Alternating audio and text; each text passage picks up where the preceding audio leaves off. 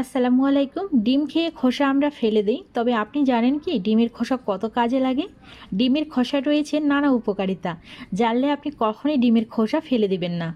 ডিমের খোসায় রয়েছে calcium, magnesium, glucosamine, hyaluronic acid ও কলাজেন। এই সব যৌগ শরীরে নানা ব্যাধি, মূলত ব্যথা বেদনা সারাতে কাজে আসে। আরও অনেক উপকারিতা রয়েছে এই ডিমের খোসার। আসুন জেনে নেওয়া যাক, তাই ফুল ভিডিওটি দেখার জন্য রিকোয়েস্ট থাকল। আমি এখানে ডিমের খোসা নিয়েছি আর এই ডিমের খোসাগুলোকে প্রথমে ভালো করে ধুয়ে পানিটা শুকিয়ে নিতে হবে। তারপর হাত দিয়ে ঠিক এভাবে ভেঙে নিচ্ছি। এবার এই ডিমের খোসাগুলোকে আমি একটা মিক্সচারে গুঁড়ো করে নিব। আপনাদের কাছে ব্লেন্ডার না থাকলে আপনারা হামান দিস্তায় অথবা পাটায় গুঁড়ো করে নিতে পারেন।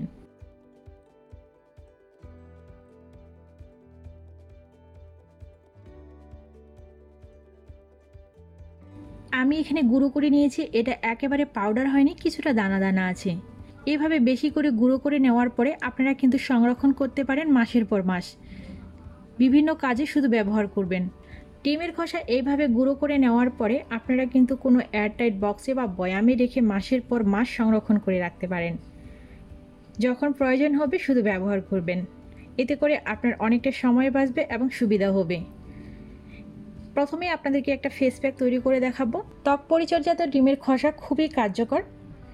এখানে এক চা চামচ ডিমের খসার গুঁড়ো নিয়ে নিলাম। এর মধ্যে এক চা চামচ মধু দিয়ে নিব। আপনারা চাইলে কিন্তু এখানে ডিমের সাদা অংশটা দিতে পারেন।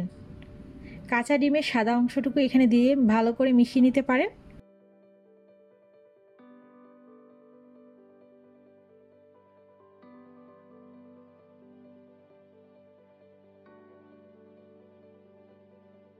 ভালো করে মিশিয়ে নেওয়ার পরে এটা আপনার ফেসে অ্যাপ্লাই করবেন। তারপর পনেরো মিনিট রেখে কুসুম গরম পানি দিয়ে মুখটা ধুয়ে ফেলবেন। আপনার মুখে পুরনো দাগ বা ব্রণের দাগ থাকলে এটা কিন্তু খুব দ্রুত সমাধান করে দিবে। দ্বিতীয় টিপসটির জন্য এরকম আমরা রান্না করতে গেলে অনেক সময় হাঁড়ি বা কড়াইয়ে পোড়া দাগ লেগে যায়। এক্ষেত্রে সহজ সমাধান হচ্ছে ডিমের খসার গুঁড়ো ঠিক এইভাবে ছড়িয়ে নেবেন।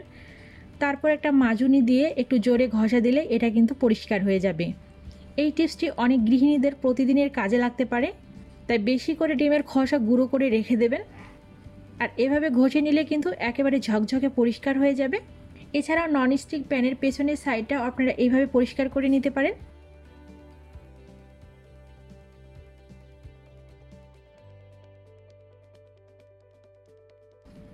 আশা করব এই টিপসটিও আপনাদের ভালো লেগেছে। গার্ড বা বাতের ব্যথা কমিয়ে অনেকটাই আরাম দেয় এই ডিমের খসা। অ্যাপেল সিডার ভিনেগারের সঙ্গে ডিমের খসা গুঁড়ো করে ভালো করে মিশিয়ে রেখে দিন দুই দিন। দেখবেন ডিমের খসার গুঁড়োগুলো একদম গলে মিশে গেছে। তারপর এই মিশ্রণ আপনার ব্যথার জায়গায় লাগান। দেখবেন অনেকটা ব্যথা কমে যাবে এবং আপনারা আরাম পাবেন। এই টিপসটি অনেক কার্যকরী, আপনারা বাসায় ট্রাই করে দেখতে পারেন। আমার যেহেতু গার্ডের ব্যথা বা বাতের ব্যথা নেই, তাই আমি এটাকে আর মিশিয়ে রাখছি না।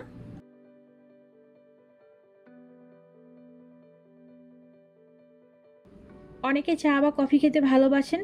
রং চা খেলে কিছুটা তিতভাব কমানোর জন্য বা কফির তেতোভাব কমানোর জন্য ডিম ভেঙে তার খসাগুলোকে ভালো করে ধুয়ে নেওয়ার পরে বড় বড় টুকরো করে নেবেন।